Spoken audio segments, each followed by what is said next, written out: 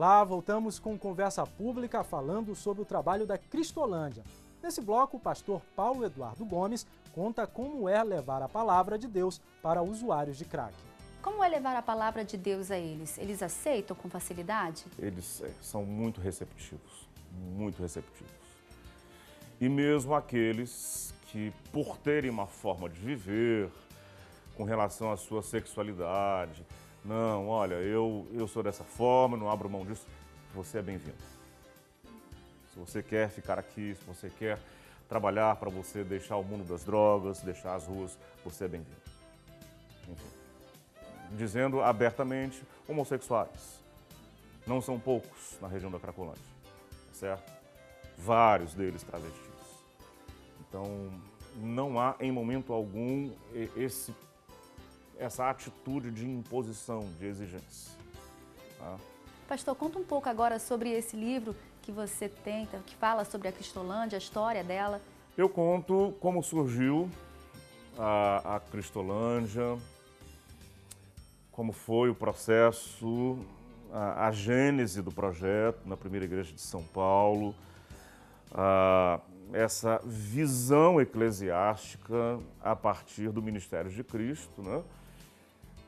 Esse foi o ministério de Jesus. Ele não ficou confinado no espaço tido como sagrado, como religioso. A classe sacerdotal da época de Jesus ah, entendia que o espaço para o atuar sacerdotal ministerial era o templo, ah, Jerusalém, solo sagrado, enfim.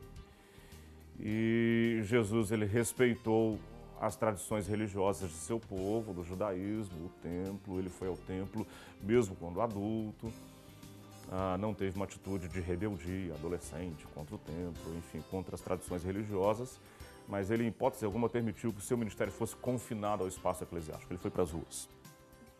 Estima-se que ele tenha gasto, investido pelo menos 70% do ministério dele nas ruas, indo ao encontro das pessoas, do povo, as multidões, ah, transpondo os muros simbólicos da religião.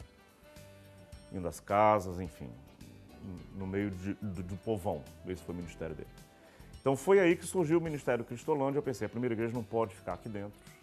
E a gente vê naquela tragédia lá. Foi daí que surgiu a Cristolândia. Eu conto isso. Conto a, a entrada, como foi, a chegada de missões nacionais. Teve um visionário que foi decisivo nesse processo, que é o pastor Fernando Brandão, que é um empreendedor, foi um camarada que a gente pode afirmar, Deus o tirou do mundo corporativo, ele era um executivo, é, uma graduação altíssima na, na, na instituição ah, onde ele trabalhava, instituição financeira, viaja no Brasil inteiro, é, quase que semanalmente em São Paulo, nos melhores hotéis da Avenida Paulista, para decidir ações. É, era uma figura muito estratégica, um grande empreendedor. E aí ele renunciou a tudo isso para se dedicar especificamente, integralmente ao Ministério da Junta de Missões Nacionais. A gente não tem outra forma de entender isso a não ser como tendo sido uma coisa de Deus na vida dele.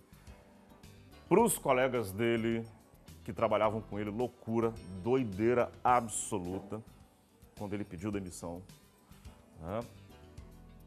E aí, pouco tempo depois de ele ter chegado à Junta de Missões Nacionais, ele conheceu a Cracolândia e a Cristolândia.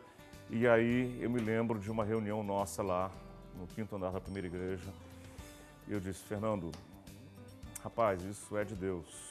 Ele foi pregar na primeira igreja e ele entre aspas, se perdeu. Na verdade, ele se achou. Né? Para chegar à igreja, ainda a pé, se perdeu na Cracolândia, ficou apavorado com aquilo que ele viu, viu, melhor dizendo. Ele disse, Paulo, a gente precisa fazer alguma coisa por esse negócio. Eu falei assim, então vamos lá, vamos juntar aqui as coisas.